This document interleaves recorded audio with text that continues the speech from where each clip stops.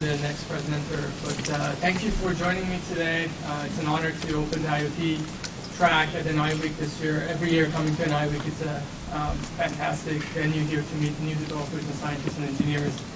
And really appreciate the collaboration that we have with National Instruments. Uh, lots of interesting products that were announced this morning at the keynote. Um, so um, I'm not going to talk about any products today. I'm just going to talk about Internet of Things, what it means to Intel, the opportunity that we see uh, with the uh, technology that's being deployed um, across different sectors and talk about specifically one of the pilots that we've had. So as an introduction, my name is Shahram Mehraban. I'm a Marketing Director within the Industrial and Energy Solutions Division in Internet of the Things group at Intel. So we have an IoT group uh, for the past 18 months focused, focused on delivering end-to-end solutions uh, for the IoT market. And uh, sorry, I, have, I don't have a clicker, so I'm going to be using mouse here.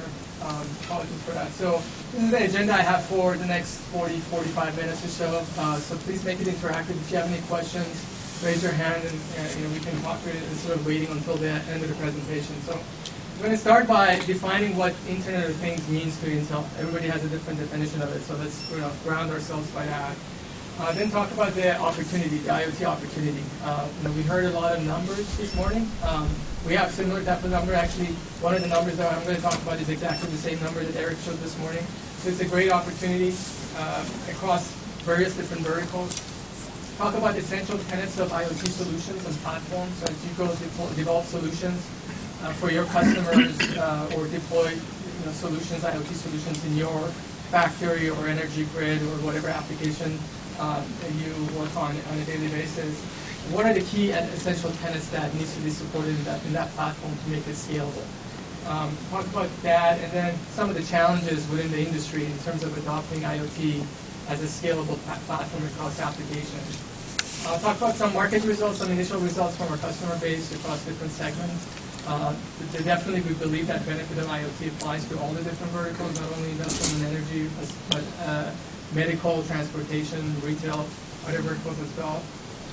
And then I'm going to wear my Intel as a manufacturer hat, right? We are a, the largest semiconductor manufacturer in the world. We have uh, seven assembly test manufacturing, nine fabs, um, number of products that we ship, uh, you know, billions of units of product every year across multiple SKUs. And we deploy IoT in our own fabs, so um, in, in our own factories. Um, in essence, we eat our own dog food and make sure that you know what we preach is really what you know uh, the benefits that we see is in our own factories as well. So I'm going to talk about that experience, some of the key learnings that came out of that pilot. So not specifically about uh, dollars and cents that we ended up saving as part of the process, but talk about some of the key learnings as you think about deploying IoT in your own factories or in your own solutions. Some of the things that you need to consider from the get-go to make sure that uh, you know, the POC or the pilot that you're doing is successful and results in, you know, uh, final deployment. All right, so the Internet of Things is intelligence everywhere. So that's a you know, quick tagline that we have. But in terms of definition, the way Intel defines Internet of Things is uh, intelligent devices generating data, uh, committing into Internet generating data that transforms into valuable information that can transform the way we work and the way we live. Uh, that's our definition, It's very holistic, but you know, some of the key things in that definition are sensors and devices at the edge, transmitting data over a network to a data center or uh, on on-premise server, doesn't need to be a data center, and creating services. Um, and that's really where, where, where the um, value of IoT comes, not just generating data. Um, and that's another thing that Eric talked about this morning is there's plenty of data out there, but only 5% of that data is being currently analyzed, right? So to truly have an IoT platform, the platform actually is going to use that data, turns into something that's meaningful for that specific use case, as well as you're able, to provide that value and analytics and data capability to third-party companies maybe that you're working with or developers that can build solutions on top of that data and make that data meaningful in terms of IoT, the way Intel um, segments this market, we uh, divide it into three different domains. So we have the mobile domain on top. Uh, mobile IoT, that's basically your wearable devices, your smartphones and tablets and your cars that typically connect directly to the internet via a broadband wireless network.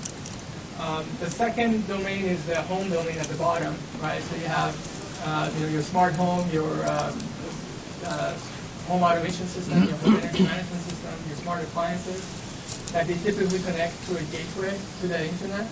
Uh, that's you know either a you know, cable set-top box or a broadband wireless router, uh, but there's always a gateway in there. And then finally, the third piece, which uh, we're very excited about, is the industrial IoT. Right? And that uh, industrial is a broad term that we use that covers you know things like medical, retail, transportation, uh, as well as other verticals. So um, and, and, those devices typically also uh, work through a gateway, connect through a gateway. And the biggest reason for that is you know, a lot of these devices have been deployed many, many, many years ago, and they don't have any connectivity or security or manageability built into those devices. So typically there's a gateway that result, um, resides in there to provide that connectivity, manageability, security feature set that's required for connecting a remote device uh, to the network. Any questions on our definition here? So, uh, we truly see IoT as the next major evolution of computing. Right? The, the first evolution started when the mainframe started to moving into uh, people's offices and homes with the PC industry that you know was kicked off in the 80s, you know, with Intel and Microsoft, and creating a 350 billion dollar industry that exists today, with you know thousands of app developers out there that have been building solutions for this ecosystem. Then I moved into the 90s, the server business, uh, where again we went from vertical specific solutions in the server industry with Suns and Solaris and SPARC and Unix systems, right, into more and more off-the-shelf compute platforms that lower the cost and increase the performance in the server market. Uh, late 90s is where we added feature sets like uh, ASR and DMA into our chipset. So you have a common compute and storage platforms, and that revolutionized the storage industry. In 2004, we started to work on software-defined networking and software-defined infrastructure, being able to support all four workloads in the communication industry, from the data plane, uh, packet processing, packet inspection, encryption, to control plane, to application uh, uh, processing, as well as the signal processing on uh, one you know, standard off-the-shelf um, hardware platform. Right? And that's really revolutionizing the networking industry by bringing the cost down adding more capacity to the network so we can actually handle all the data that's generated from the IoT devices. And then the evolution actually fo follows into the Internet of Things, and that comes across different sectors, right? And, and that's really what's exciting about this. It's really the next evolution of this platform. And we think between different verticals like you know, medical, industrial, energy, there are certain elements of this end-to-end -end connectivity that's really common that we can uh, build platforms around that uh, provides us scalability and that evolution. And I think what really is interesting and is causing this sort of a, uh, us to be able to cross this chasm into IoT is three different phenomena. If you look at um, what talked, uh, Eric talked about this morning around Moore's Law and what that has done in terms of computing, uh, the cost of uh, computation has come down by a factor of 60x over the last decade. Uh, the cost of bandwidth has come down by a factor of 40x, and the cost of sensors have come down by a factor of 2x over the last 10 years. And I think um, th that you know, makes IoT really uh, feasible uh, because there were use cases. I mean, IoT is really nothing new, uh, but uh, the use cases are nothing new. But now some of those use cases are becoming ROI positive because the cost of implementation is coming down because of standards and the fact that there is um, ample bandwidth and cheap bandwidth available, as well as cost of computing is coming down, so you can put more and more computation and intelligence into edge devices. So the opportunity, uh, you know, the number that Eric showed is $50 billion. That's the IDC number. So by 2020, we predict that there are going to be 50 billion connected devices. Um, today, where we are is 15 billion connected devices. So those 15 billion is mostly PCs and tablets and smartphones. Um, so between now and you know 2020, that's five years from now, there are going to be 35 billion new devices that are going to be connected to the network. And these are not new, brand new devices. A lot of these, actually the majority of these, are going to be legacy devices that they don't have any connectivity built into it. So that, that poses a you know, big challenge to the industry. How are we going to connect 35 billion devices that are legacy devices that don't have any security, don't have any manageability or connectivity built into this? Because 30, 40 years ago, when somebody designed that box, they didn't even think about adding security to it because they never imagined that this device is going to be connected to the network, right? So uh, that's really poses a challenge to the industry as a whole. Are we going to be able to scale the solutions to get to that you know, 50 billion number uh, in a manageable fashion and in a fashion that really scales across multiple industries. But, but there again lies the opportunity for all of us here. Um, and we think that the opportunity is going to be across all the different sectors. So, uh, you know, I'm here as a manufacturer talking about manufacturing sector, but we see opportunities in transportation, in medical, in you know, fleet, commercial fleets, smart homes, retail, and whatnot. And uh, you know, when you look at all the use cases, IoT use cases across all these um, segments, they really boil down to three broad categories. One is uh, better efficiency, uh, you know, OPEX and you know, CAPEX type of uh, results that you get from IoT deployment. The second one is new services and new revenue streams, right? Using data and providing that data and build a service on top of it. And the third is around user experience, better user experience. You have access to that data, you analyze that data, and you provide a better user experience. I mean, maybe that's customer service. But really, those are the three broad categories that, that, a lot of these IoT use cases across these uh, industrial sectors fall into those categories. And uh, and then the, the other sort of opportunity number that we look at is this comes really from the McKinsey Global Institute that talks about the economic impact of IoT. So when you look at across industrial, energy, medical, you know, financial, retail, agriculture, and all of them are listed there. Um, you know, if you add up all the benefits that are going to result from those uh, um, deployments, they predict that by 2025, again, that's only 10 years from now, there's going to be somewhere between three to six trillion dollars in terms of annual economic benefit from IoT. And that's a wide range, you know, three to six, but any numbers that has a T in front of it is big. Um, out of that three to six, about half of it, 1.2 to 3.1, um, is the economic value that's you know, being created in the industrial and energy sector. So there's a lot of low-hanging fruit, we believe, in those two sectors in terms of connecting these, uh, these devices to the internet analyzing the data, and doing things like condition-based monitoring that we talked about this morning in the keynote to you know, be able to better predict when failure, machine failure is going to happen, and be able to have the spares on hand, don't have downtime, and things like that that turn into really economic benefit for the operator of that machinery. Right? And then, um, you know, initially when I saw the numbers from McKinsey Global Institute, and these have been out for about a year, 18 months now, I was a little bit skeptical too. Um, big numbers 10 years from now, right? But then when we did a pilot in our own manufacturing facility and looked at the results that we got from that pilot, and um, and I'm going to talk about that later in the presentation. And it's basically, basic, uh, you know, we instrumented three tools in our factory, tool types, and, and, three use cases, right? And and the results that we got was phenomenal. And and then I'm thinking if I extrapolate that across the 30 plus tools that we have in every factory that Intel has. And then a number of the manufacturing companies like Intel that are around the world, you know, building anything from, we do semiconductor, but automakers, semiconductors, consumer electronics, food and beverage, you add that up, you can, you know, fully get that to, to that trillion number is no, no, no problem. So when I talk about some of those cases, it becomes really obvious how we're going to get here. So getting back to those uh, essential tenets, and sorry about the formatting here, essential tenets of IoT edge to cloud solution. So we think these five capabilities are essential in having an IoT platform that's going to scale us to that 50 billion number by 2020. And at the bottom, it really starts with the world-class hardware and software security. As we talk, uh, as I said, you know, there are uh, devices out there that were you know, designed and built 20, 30 years ago, don't have any security built into that. So how are you going to connect that to a network without increasing the attack surface, right? And be able to isolate that system in a way that's, uh, you know, it's, it's behind a firewall, has application whitelisting on it, and it's you know, completely protected.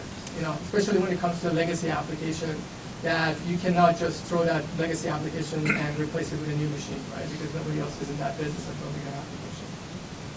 Second element of it is really, uh, second from the bottom, is automated discovery and provisioning of edge devices, really edge management capability. Right? We're talking about thousands, tens of thousands, hundreds of thousands of devices in different use cases. So if you're talking about, for example, a smart city application, where potentially you're going to deploy uh, you know, hundreds of thousands of sensors or IP cameras across the city, um, and connecting these to an IoT gateway, aggregating the data, doing some filtering, maybe doing some you know, edge analytics on that NVR or DVR platform at the edge, and then sending some of that data back to the back-end system. So you're talking about you know, tens of thousands, maybe hundreds of thousands of sensors, so that's not unrealistic. But if it takes you, for example, half a day to install and provision the gateway and start sending data to the server, practically that's become a nightmare of how long does it take to go and deploy 10,000 devices, right? So that's a project that's not going to you know, get approved because you know you come up with a timeline and you show it to your project manager and they're going to laugh at you because it's going to take you six years to go deploy gateways, right? So, so that automated discovery and provisioning at the edge in a scalable fashion is a key requirement, you know, in our view. Uh, the third element is data normalization. Um, again, you're going to have multiple different devices, legacy devices, based on uh, you know, various protocol, uh, communication protocols from different vendors, potentially. So how do you normalize the data across all these devices to be able to run the appropriate type of analytics on that data? Uh, scalable analytics infrastructure is the fourth element. And by that we mean being able to uh, do the right type of analytics at the right time, at the right place across this end-to-end spectrum. So depending again on what type of use case it is. Uh, so for example, if I'm uh, comparing a data set from uh, three different manufacturing sites in you know, three different countries to see trends and identify issues, right? I want to probably do that data centrally somewhere in my data set. Uh, and that's a different type of analytics than uh, doing machine learning and you know, vibration-based condition monitoring. And I want to do that in real time closer to the edge, right? So you need to have a really a framework that allows for both types of analytics, uh, so, so you're able to do that at any time. And then finally, a service creation platform. And usually that's really an afterthought for a lot of people. They go deploy a solution, and uh, six months down the road, a year down the road, they realize that hey, I need to provide uh, that data to additional stakeholders, whether they're third parties or internal business applications, and then they have to go build an API, right? So here we, we are suggesting that a service creation platform needs to be integrated as part of an IoT platform from the get-go. So basically you're future-proofing the platform that you put into place. So as you deploy new use cases, the platform is able to support that. I'm going to talk about an example of that um, in, in a minute.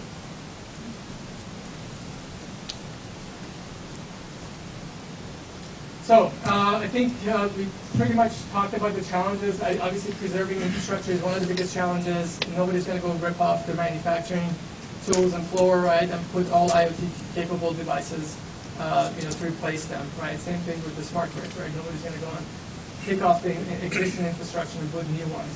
Especially in the manufacturing sector that I'm part of, right? My, Typical manufacturing, they want to really raise their thin margins, right? So there is not much and historically they've been really conservative in, in, in terms of uh, allowing new technologies to be deployed on the manufacturing floor. Right? They have a, they have a uh, you know a, a, certain output that they're committed to, and any unknown that comes into the, the, the picture is a, is an unnecessary risk. So you want to preserve the infrastructure, right? So whatever IoT solution you develop has to be able to be uh, retrofitted into the existing platform. So there's a bolt-on concept of how do you bolt-on solutions on an existing device to be able to capture that data securely uh, and being able to run analytics on that data. Customized solution. Um, you know, Intel loves to build one product and ship millions of units. We want to do the same thing with IoT, but it, that's not going to be practically possible because we believe that every single use case is going to be a little bit different, um, even within the same industry. Um, and because of that, customized solution is required, and that really brings the importance of solution provider and system integrators into this market. Uh, because no matter whose IoT platform you're going to go deploy, at the end of the day, that end user requires some specific customized solutions for whatever applications that they have. Uh, and, and, that brings a big opportunity for solution providers and system integrators that are very excited about IoT and the potential there. There's going to be many devices to connect, so the IoT platform has to be flexible uh, in terms of hardware, you know, the number of IOs, the type of IOs you have, the type of protocol libraries that you have to be able to connect to different manufacturers, legacy platforms. And then increasing complexity, and that really comes into play when you have IT, uh, and IoT is about really the collision of you know, information technology, IT, and operation technology, right? And, uh, and I'm going to talk about that's one of the learnings that we found out when we did our own pilot in our own factory was around getting IT people involved from the get-go, because they're a stakeholder at this stage, and they need to provide information and be bought into the whole concept and the use case and the technology and the roadmap. That's essential.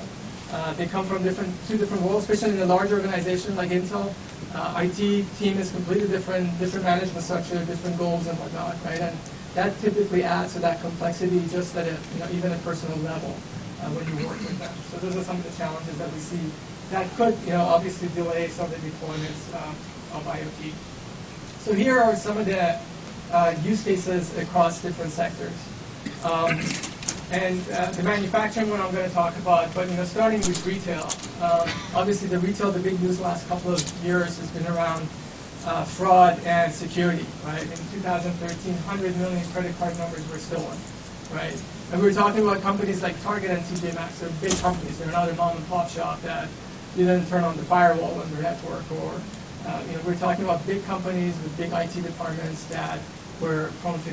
So in this case, we actually work with NCR, which is one of our OEM customers in retail, on developing a solution called uh, data protection technology, DPT. And what DPT does is really um, isolates the um, um, sensitive data like your driver license and your social security number, as well as the transaction data, by um, having it isolated, completely isolated from the OS and the CPU uh, both physically and logically, using a, a separate, um, uh, using a, the trusted platform, um, uh, trusted platform uh, technology, platform technology.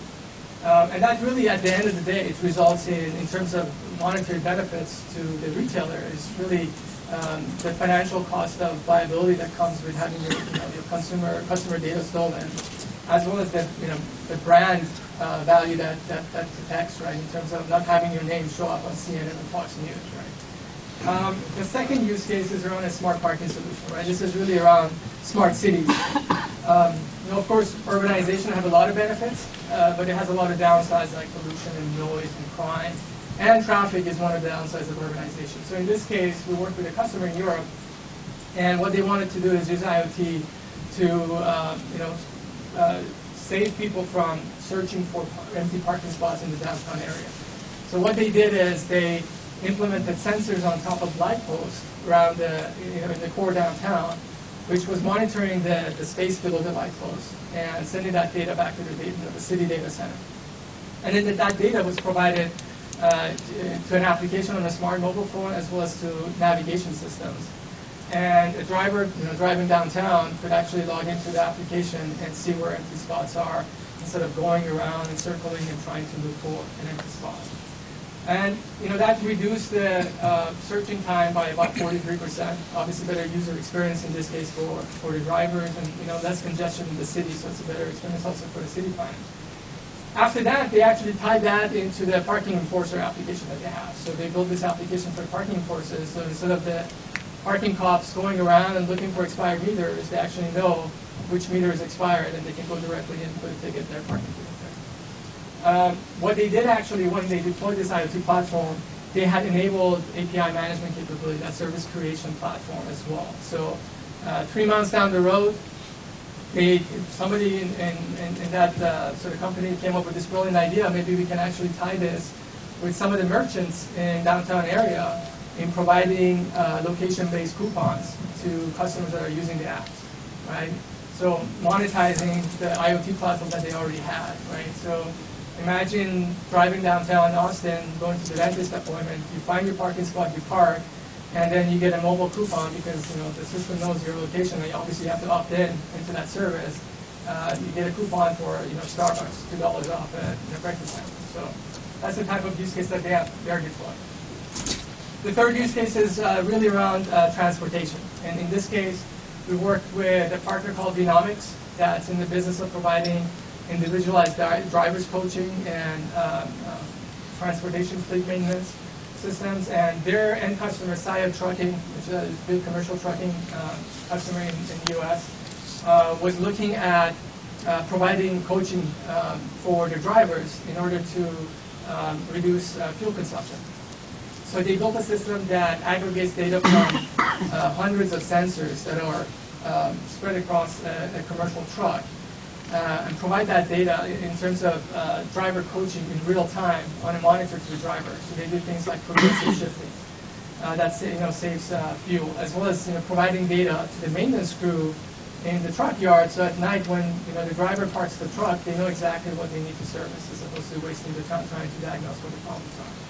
Uh, so that's resulted into about 6% in fuel savings for this company, right? So if you consider that in the US alone, 50 billion gallons of gas is used every year in commercial trucking, and, you know, sort of extrapolates, you know, 6% of that is about 3.3 billion gallons of gas, which translates into 38 million tons of CO2 that were avoided, right? So these are real benefits. And then the last one is really a smart building solution. Uh, in this case, we work with Rudin, which is a big uh, building management company out of New York City. Uh, they manage big buildings of you know, 1 million plus square feet. And they basically build an IoT solution that integrates sensor data from different systems. They have a building management system, they have an HVAC system, heating, ventilation, AC system. Uh, they have an access system, separate access system. So all that data is aggregated into an IoT gateway and connected to the Rudin backend management system. Uh, they built a system called BOSS, that's that BOSS, that stands for Building Operate, Operating System Solution, that allows the building manager to have access to all the different systems as well as uh, deploy analytics to optimize things like uh, energy conservation, right? So if they realize that part of the floor is empty and there's nobody there moving, right, uh, you know, turn the AC off or you know, turn the lighting off, and that's really resulted into big savings for them, as well as a better comfort for um, you know, their occupants. So now, um, of switching now to manufacturing. So, um, uh, you know, Intel, largest silicon manufacturer in the world. Uh, if you can read the numbers, these are some of the big numbers that we put here to impress you. Uh, but, you know, we have seven assembly test facilities, nine fabs in four countries. We ship over 1.1 billion products every year. Um, and that's across 5,275 SKUs. So very complex, right? Uh, in terms of our supply chain, we have 10,000 suppliers in 100 countries, and we ship our products to 68 countries, right? So very complex uh, supply chain uh, management problem that we have. And um, and I don't want to brag, but you know we've been typically uh, on a consistent basis one generation ahead of other uh, silicon manufacturers in terms of our uh, capabilities around the geometries that we use and the size of the wafers and 3D uh, capability for transistors and whatnot, right? And we do that while maintaining the highest gross margins in the industry.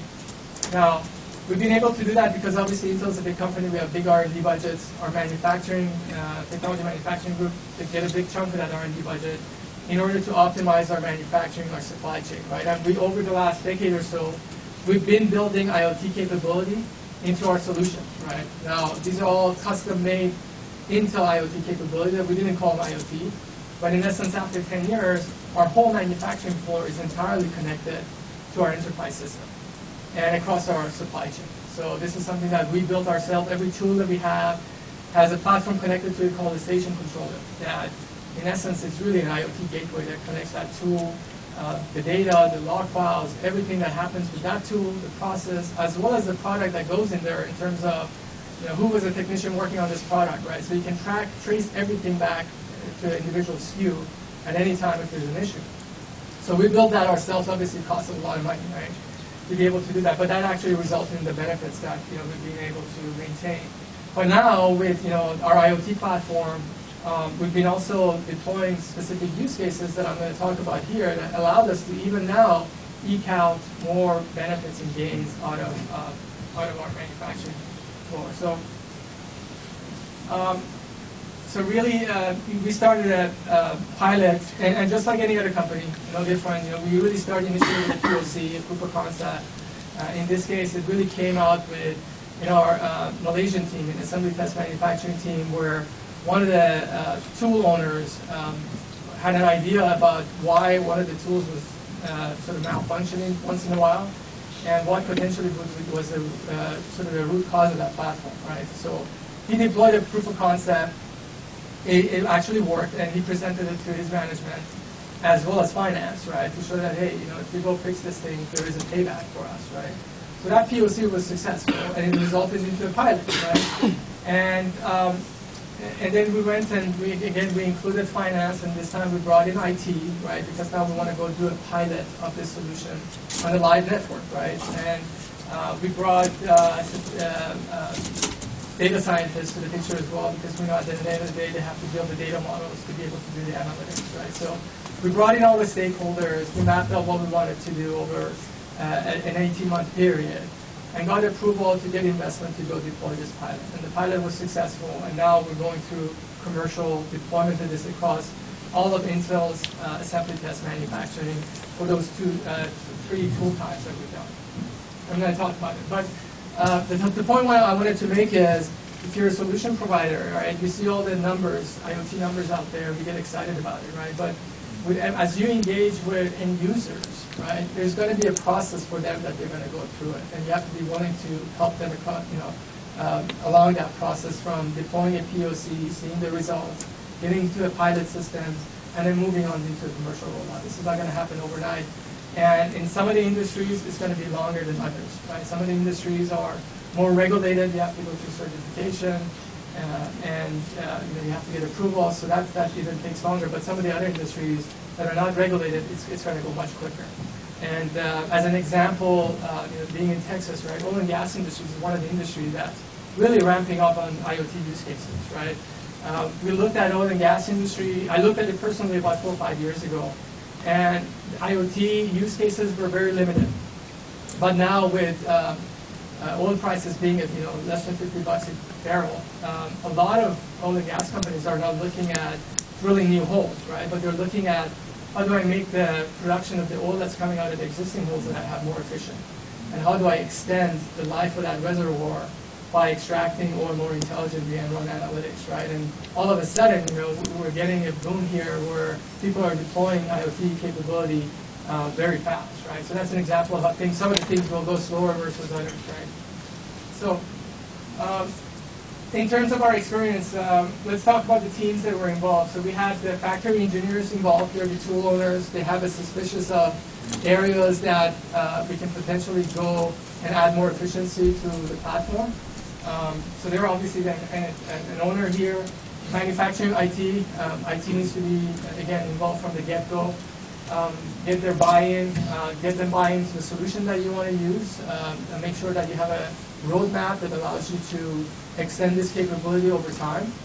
Um, data scientist or statistician, obviously you get the access to the data from the tools. Uh, we heard this morning only 5% of the data is being analyzed today, and that's part of the problem is, you know, having access to uh, data scientists and statisticians that come and you know, build data models for you.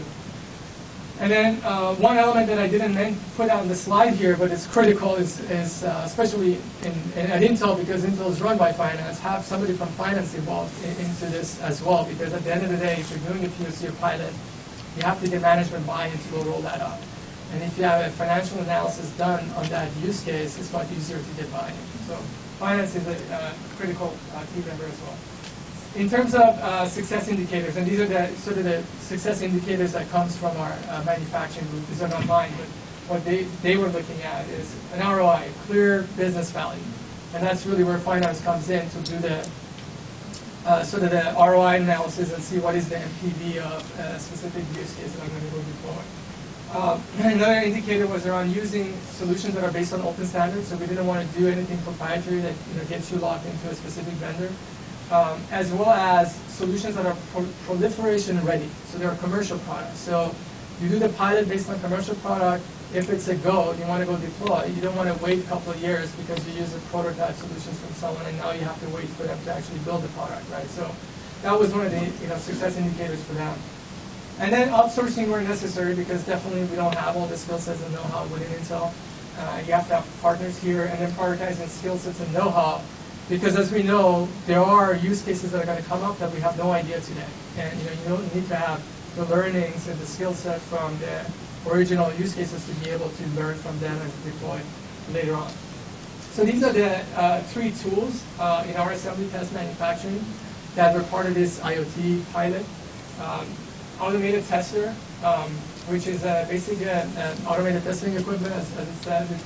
Uh, there's a handler in this system that actually takes multiple CPUs and puts them on the motherboard for testing. And um, the handler, once in a while, uh, it misaligns, right? And what it does, it damages the CPU, so you have to scrap that silicon. And it damages the motherboard, right? So you have to scrap the motherboard. So those are some of the scrap expenses that goes with that.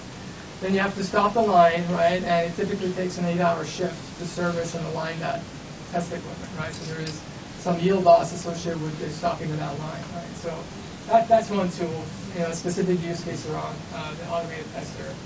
The second tool is the assembly tool. Uh, this is a tool, it's a multi-component tool. Um, it's a ball attach module is a piece of it, which actually attaches solder balls to the BGA package, right? And once in a while, you have a, a, a CPU that doesn't have, sort of has uh, missing um, missing balls, and um, that was one of the use cases. We wanted to predict when that that occurrence is going to happen. Um, and then the third uh, tool was a vision system, which is also used for testing. It takes uh, high definition images of our packages uh, at the end of the line, right, and defines what are good, what is a bad a silicon that needs to be scrapped. And then there's a series of products that are classified as marginal. And before this pilot, that bundle of marginal products were moved into a different um, sort of area within our assembly test manufacturing for somebody to actually go manually inspect these and see which ones are good, which ones are bad, right? And that obviously takes a lot of time and effort to do that. So these were the three tools and the use cases there. And then in terms of benefits, uh, on the automated tester, uh, we looked at 50% uh, reduction in maintenance time uh, by getting the data and being able to predict when uh, that misalignment on the tester handle is going to happen. And 20% reduction in spare, uh, costs and 25% reduction in non-genuine yield, yield loss, right? So, and, and, depending on what kind of silicon we're producing, right, whether it's a $400 Xeon CPU, right, that could be really, uh, you know, big tangible numbers in terms of uh, NPV. Uh, use case number two, we saw a 50% reduction in yield losses by being able to, you know, we, we determined there was a correlation between the vacuum pressure on the nozzle uh, with the missing balls, right? And being able to predict when that's going to happen has allowed us to reduce our yield loss by 50%. And then on the vision system, uh, by automating that last piece, the uh, you know, uh, running standard R algorithms on the data set that we're getting from those uh, high definition images, we're able to do that uh, secondary testing much more faster. And we got 10 times faster results and 10% headcount efficiency, right? So that results in real dollars. And if you want more details about uh, the actual implementation of the use cases and what was deployed, uh, come and see me afterwards. There is a white paper on the Intel website that, that talks about the uh, solution and what we deployed. But the key uh, really um, thing that I wanted to emphasize here, we deployed one IoT infrastructure here in terms of the gateway platform, the backend industrial data center, the data, the big data infrastructure in terms of software, uh, that we need to uh, put in there, and as well as the analytics framework. And that same infrastructure was supporting all three use cases. And that uh, infrastructure is what we believe is going to support our future use cases. So we're already working on use case number four and five that are being piloted right now, right? So we don't intend to go for every use case go implement the new end-to-end solutions, right? And that's uh, really the benefits of the scalability of an IoT platform if it meets those five essential tenets of IoT. So the key learnings really, um, really IoT, uh, any IoT uh, use case starts with uh, a, a, new business value, right? I mean, that could be, you know, better yields, uh, less scrap, you know, headcount efficiency, or business value in terms of a new services revenue. That, in the case of that uh, uh, smart parking example that I gave you, right, it was really the new service that they were enabling with the, with the mobile coupons, right? Obviously, they're going to do some revenue type of sharing with the merchants there, and that's you know you know that's a new business value for that entity. Uh, scalability and flexibility is key, right? And I talked about in, in the previous slide, right? The, make, making sure that the platform that you deploy is allows you to scale, because that's a that's a thing exciting about IoT in my view is there are so many use cases that we haven't even thought about that, that's really going to transform the way we do business and the way we live our lives, right? And, and you have to make sure that whatever you deploy today is going to be able, is going to be future-proof. Uh, cross-functional expertise is key in any pilot that you're going to do. Uh, it, that was definitely key in, in our uh, in our manufacturing experience in bringing in uh, you know somebody from the factory floor that understands the tool, understands the process, understands the products that are going in, has a thesis in his head around how things are related. Uh, the, the, second use case around the ball attached module, the, the tool owner thought that you know the vacuum pressure had something to do with missing balls, right? Uh, so that, that's one expertise that you need. The IT, um, again, I'm emphasizing that because a lot of people don't involve IT from the get-go. I think any success of any IoT de- deployment is going to result in having IT there. Um, and um, as well as, you know, obviously the data scientists there and, and finance. Um, implement, implementation complexity. So that's, you know, we talked about that. Uh, that really comes into play, especially when you have a lot of legacy devices, where in some cases we have customers who are, you know, implementing solutions where the OEM for that device does, doesn't even exist anymore, right? They're bankrupt or, you know, they, you know, they got bought out a few times and there's no documentation, no access to anything related to that tool, right? And that tool needs to now get connected, right? So there's a lot of complexity there. But as well, there's a lot of opportunities for, for system integrators and solution providers. And then partnership and collaboration is key, right? I don't think there's any company that has an end-to-end platform that's going to meet the requirement of any solution. So um, that, that's key in terms of you know making sure that uh, whatever platform that we're going to deliver is scalable across multiple different um, use cases across different segments. So um, just to summarize quickly, right? We definitely uh, at Intel we're very excited about IoT. Uh, you know, we uh, think that there are five key tenets that we talked about uh, around uh, hardware and software security, edge management capability, data normalization, a scalable analytics infrastructure, and a service creation platform are key features of any IoT platform that is going to scale and be successful uh, to get us to that 50 billion number that everybody talks about. And then from uh, a sort of an end user perspective, you know, we have seen value in the initial results that we've seen in deploying IoT in our own factories. And, uh, you know, we are excited because, you know, we think that there is a lot of potential things that we can do.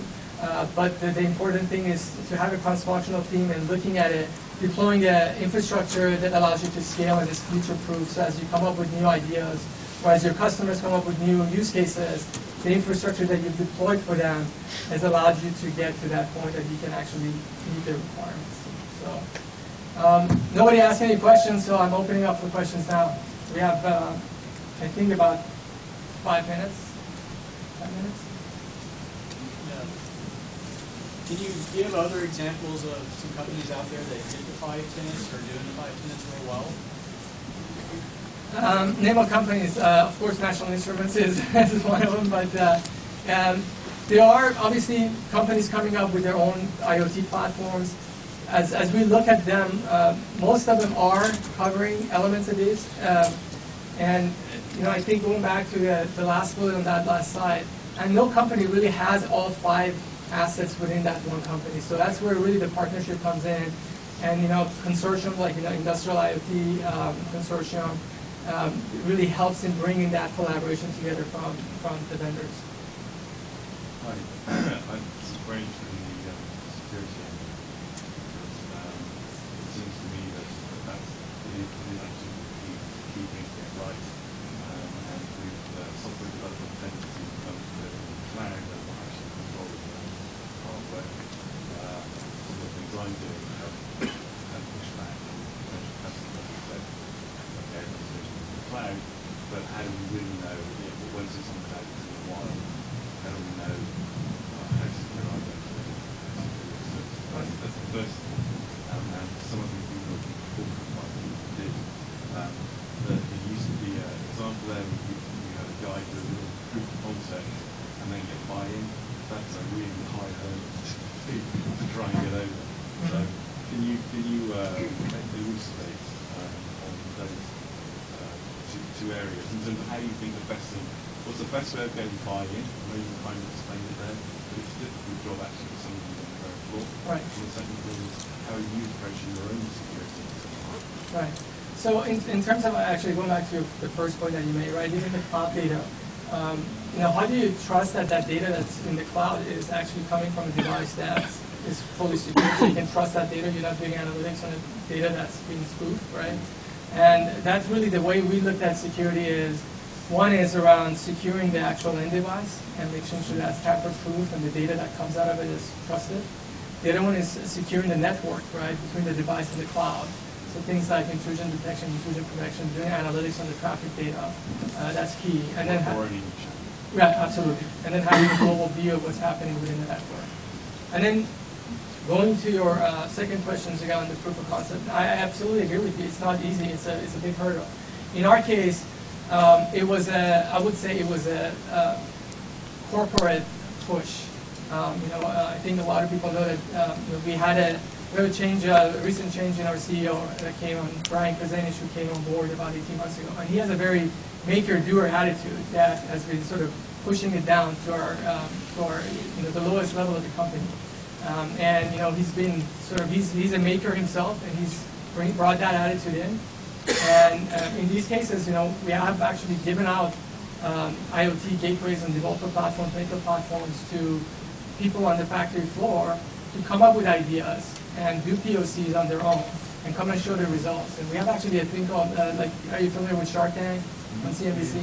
Similar type of thing. We have actually a panel of judges where actually people come in and present, hey, I went and did this in our factory or in our marketing or in our advertising to prove something, and this is the result of that game, and if you extrapolate, this is what you get. And you have judges that vote on, yeah, I want to put some money in that.